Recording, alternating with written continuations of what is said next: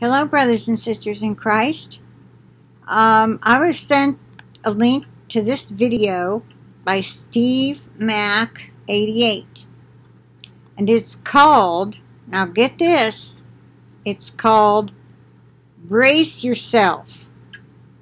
Perilous times are before us but Jesus is coming quickly. There are 444 thumbs up and 7 thumbs down is that a coincidence I don't know it was put out July 11th and I would like to play it for you. So here it goes. I wanted to take a few minutes to share with y'all some things that I found to be pretty significant, um, and you can draw that conclusion yourself once this video is over. But I've been chewing on this for a few days now, wanting to make sure that you know, I had God's go ahead before sharing this information with you, and right now I feel the peace with giving you the information of the things that I've experienced. So a few days ago, I made a request of the Lord before going to bed that I wouldn't normally make, and that request was this. I said, God, I, I ask that tonight that you speak to me in a dream that confirms some of the dreams and visions that I've had in the past because the Bible says out of the mouth of two or three witnesses every word is established. So I'm like God if you could confirm some of these dreams and visions that I've had tonight just to strengthen uh, the, the word behind those dreams and visions just to confirm them that would be really good. But I made a secondary request of the Lord that I've really never made before I said, God, also, if you would, uh, I ask that you confirm the, some of the dreams and visions of others that I've heard, because God knows what I've heard. He knows what I've heard other people share. So I asked the Lord if He would consider um, confirming some of the dreams and visions that I've heard spoken by other people. So I went to bed, and within about an hour of going to bed, I woke up with my mind blown. So here's what happened. In the past, I've had dreams and visions, and the Lord has shown me things, you know, regarding uh, fires and looting and quarantine and, man, you name it, the dollar failing and the money going away and Russia invading America, just a number of things that I've seen over the years in dreams and visions and all of that sort of thing. So a few nights ago, when I went to sleep after making that request of God, I uh, I had a dream, and in that dream, I was revisiting some of my dreams and visions. I was discussing some of the dreams and visions that I've had over the years, which to me was God's way of confirming those dreams and visions. But this is the part that really got my attention. What woke me up wasn't just some words that I heard in the dream I woke up because of some words that felt like they rattled the cages of my spirit. The very instant that I heard these words, I woke up. And when I woke up, I knew exactly how to apply them. I knew that God was confirming not only my dreams and visions, but He was confirming the dreams and visions of some other people that I've heard here recently. And man, I began to praise the Lord, and the presence of God was all over me. And man, just to hear these words really got my attention. Now, when I tell you what words I heard from God, a lot of you are going to immediately know how to associate these words. But if you do not know how to associate these words, just type them into YouTube, type them in some search engine of some sort. I'm telling you, you'll figure it out pretty quick. But as I was revisiting my dreams and visions in my dream, which I believe was confirmation from the Lord, I believe also that God confirmed the dreams and visions of a couple of others by saying these words. I heard the words, brace yourself. And it woke me up. It rattled me to the core. It woke me up in an instant when I heard those words. I knew how to apply it. Now again, if you're not sure how to apply that, type in brace yourself, dreams and visions on YouTube.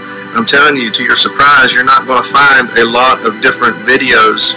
Uh, there's only a few different occasions in which I found that somebody said, brace yourself, one of which is pretty popular at this point. One of which, when the man says, brace yourself, he is speaking about things that ironically, if you will, are discussing dreams and visions that I've had for the last eight, nine years or so. So uh, I'm convinced at this point that God had done both things that I asked him to do before going to sleep, which is a surprise to me enough. I figured if he did one or the other, I would be blessed, but he did both. He confirmed some of my dreams and visions, and I believe he confirmed a dream and vision of another person. And by doing so, it's caused me to uh, look up and lift up my eyes. That's a fact. Man, just uh, last night, I believe, or maybe the night before, I don't even recall what night it was.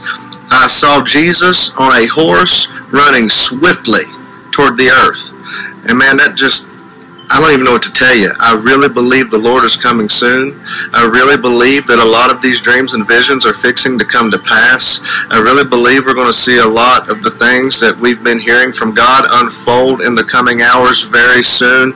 And it's imperative that we as the people of God do at least two things, and one of which is we get our house in order, fix our eyes on the sky, have our oil lamps filled, have our garments spotless, white as snow in the blood of Jesus, be set apart and put away sin, put away the world. But secondly, make good and sure you're doing everything you can to bring somebody with you. Make good and sure that lost world knows that Jesus is coming, that judgment is coming against this nation, that bad things are fixing to unfold and come to pass, that if they would trust in the Lord Jesus Christ, they can be saved, them and their whole household. So I just want to encourage you with that. Uh, I believe God was confirming dreams and visions that I've had over the years, but again, the Lord said, brace yourself. So I ask that you apply that accordingly and seek God in that regard. In Jesus' In Jesus' name, he said, Yes, amen. Amen, amen, amen. Do you know who said that? Do you remember the video I shared with y'all? It was about prophetic dreams. One was somebody else's dream, but the second was Dana Coverstone's three prophetic dreams he had.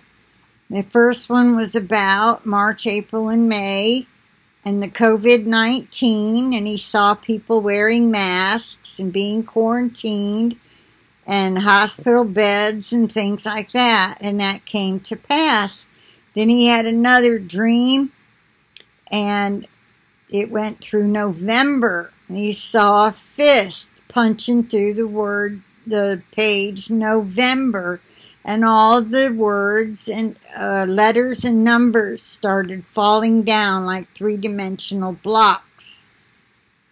And what his this man Steve Mac 88 is saying is he's been dreaming the same things as Dana Coverstone dreamed last month. I believe it was June 30th was the night he had that dream. I just looked it up. Um, so I wanted to share that with you and just ask you to share this with whoever you can, or I'll, I'll put the link to Steve's dream in the description box. If you can't see the description box, just go to Steve Mac 88. Look for warning dream concerning September, October, and November 2020 slash slash Jesus is the way. Okay. Um, that was on, he made this video July the 10th, and this is July the 12th. I don't know if I remembered to tell you that or not. Okay, with that, I'll say I plead the blood of Jesus over this video, and I pray that it goes out. I pray that people will take it seriously. The first fruits rapture is coming soon. People, have your lamps your oil lamps filled with the Holy Spirit. That's what that's referring to.